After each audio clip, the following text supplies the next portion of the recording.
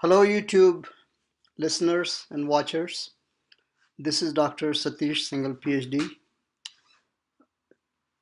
this semester, I'm teaching C++ at El Camino College and online class at Santa Monica College. And students need some information on Sentinel control loop. So I decided to make this video to clarify concept of Sentinel control loop. So basically, in sentinel control loop, the data entered by the user or from the keyboard or read from the file is tested at the loop entry point. So it's a pretest loop in that sense. Anytime data entry is done before the loop is entered is called a pretest loop. in most real life experiments or data processing situation, some values or values for program variable may never be re realistic. These unrealistic or impossible values are called sentinel values.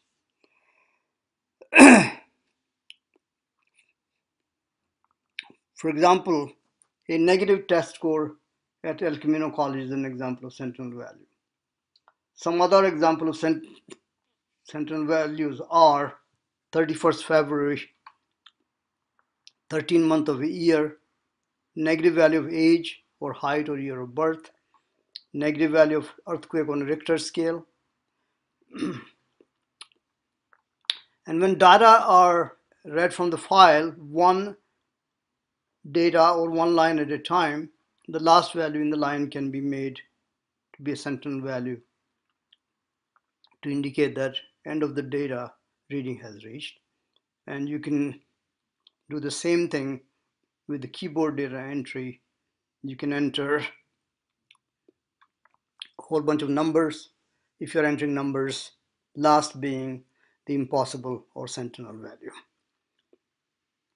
So sentinel value is something that is impossible value for the data that you're processing. Okay, what are the characteristics of sentinel control loop? We'll state here, then we'll demo in our code. sentinel control loop require a prime read. What that means is that first set of data must be read into variable before the loop entry point. Such prime read is similar in nature to initializing the loop counter for the count control loop. For count control loop, we initialize counter to 0 or 1, whatever, and then we increment or decrement that inside the loop. now, if value that is given as a prime read is not a sentinel value, then program will enter the loop. Otherwise, if it's a sentinel value, program will not even enter the loop. Of course, you know that's the characteristic of pretest loops that it may not even be executed once. Inside the loop, you have to do a update read update read to update the loop condition. If update loop is not done, you'll end up with the infinite loop. Okay, so very important thing about sentinel loop is your prime read that's done before loop even begins, your update read that's done inside the loop. if update read is not done, you'll end up with the infinite loop. We can demo that in the code. So let me go to Xcode now to show you how a sentinel loop works. So let's say we want to sum ages of some number of people. Now ages are always going to be a positive number. So its sentinel value would be minus. Nobody's age can be minus. so we declare two variable, sum of ages. This should be initialized to zero and I'll explain why that would be and this will hold one age as we read the data in the sentinel loop. So I think it would be a good idea that I run the program first and then explain it. So let's run it and I'm gonna enlarge this run area quite a bit so that you can see how program works. So let's just do that and It says enter all ages to be summed, space separated. After the last age entry, enter a negative number for data entry termination. So I already said that a sentinel loop is a pretest loop. It may not even execute once if I enter a sentinel value. So I'm going to enter a sentinel value and then you'll see that you know, nothing happens. See, program ended because loop was not even entered. So no summing was done, nothing was printed. Okay. Main characters of pretest loop didn't even run once. Let's try it again. This time we'll actually enter sum ages.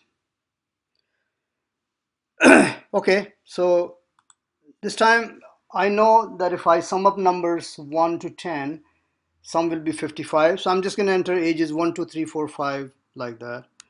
2, 3, 4, 5, 6, 7, 8, 9, 10. And don't have any more data, so I'll enter a negative number. Non-sentinel values, sentinel values. So program will read all these, sum these up, will not add this to the sum, just discards that one. And it should be 55. Sum of all ages entered is 55. Okay. So let us see, let us copy this and explain how it works in the program. Okay. So let me show you now. So we initialize this accumulator of ages to zero. It's optional to initialize this one because we are taking input for this here anyway. But my habit is to just initialize everything to zero or something. So imagine this was prompted to the user and this set of data which I just copied was entered. Okay, like this. So first time one is entered into one age memory. Okay. When all this data is sitting in the buffer, program will read it one at a time. So on line 15 here, one will be read. One greater than zero is true. Sum of ages were initialized to zero. So one age is entered. Uh, sum added to the sum so sum of ages becomes now, let's just put uh, sum of ages here becomes 1 now because it's at 1. And then this data is sitting in the buffer, so this got consumed. So I'm just gonna put maybe, okay, asterisk after that. So this got consumed. Now, as you know, C narrow arrow operator throws away the white space, next is reads 2, and 2 greater than 0 is also true. So sum of ages was already 1, so gets 2 gets added to it, becomes 3. okay, so you consume this much data. I'm just going to move my asterisk here, so I consume this much. Anything before asterisk is consumed. And then this data sitting in the buffer, cin will read 3. Again, always throws over the white space. So 3 is read. 3 greater than 0 is true. And then it's added to here. So we'll just do it 3 plus 3 equals 6 now. Okay? So 3 got read. So I move my asterisk here. and then line 19 will this time read 4. Well, 4 greater than 0 is still true, so we'll add the 4.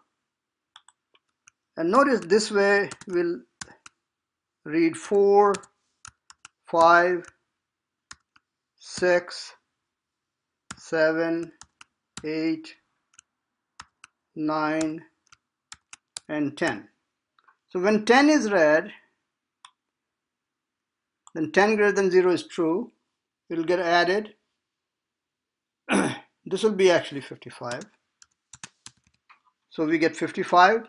But then it reads minus 1 finally. And minus 1 greater than 0 is false. When this is false, we exit the loop. And finally, we only want to print sum of ages if it's not zero, because just in case they enter a negative number, it's going to come out zero. So that gets printed here. That's how we got 55 here. Now, this is very important, and that's where a lot of students make an error. They forget to initialize this. Now, in Xcode, it will still work because Xcode initializes even C++ variable automatically. But this may not work in any other compiler. I cannot show that to you here, although it's giving me a warning here uh, that it may not be initialized. Yeah, the warning is right here. Uninitialized when used here and initialize the variable to silence this warning. And if I say fix, it actually did the zero for me. I call variables into which you are adding something or multiplying something an accumulator. The rule is accumulator should always be initialized. Okay. Rule. Let me type down this rule. Rule.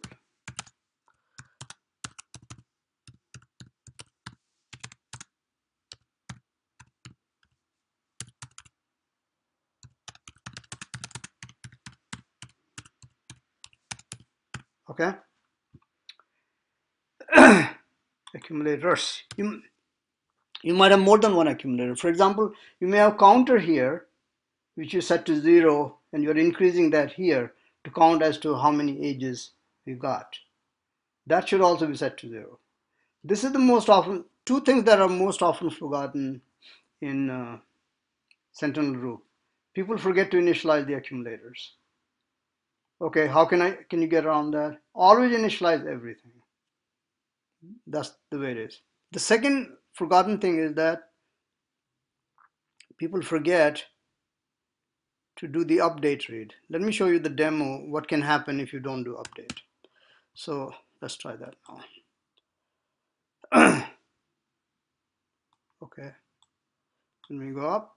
So 1, 2, 3, 4, 5, 6, 7, 8, 9, 10, and I have minus here, and nothing happened. That's because only one first value was read and 1 greater than 0 is true and that's it. I got, there was no update. This loop condition remains true forever. That's called an infinite loop. So I'm stuck in this loop on and on and again. So two mistakes that are made in Sentinel control loop is that people forget to initialize the accumulator. How can you get around that? Initialize everything. Every variable initialize them. And second is that people forgot to do the update. We didn't do the update. We got the infinite loop. We remove the problem and our program will work again.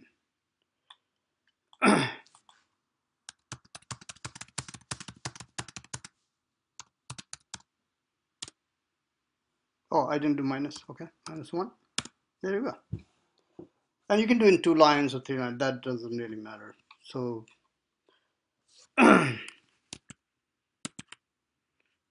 okay, so once again, this is Dr. Singhal. We talked about Sentinel control loop. Use the C++ code, but you can use Java, C Sharp, Visual Basic, C, any language. The principle will be exactly same. And that's all I have to say for now. Thank you for watching.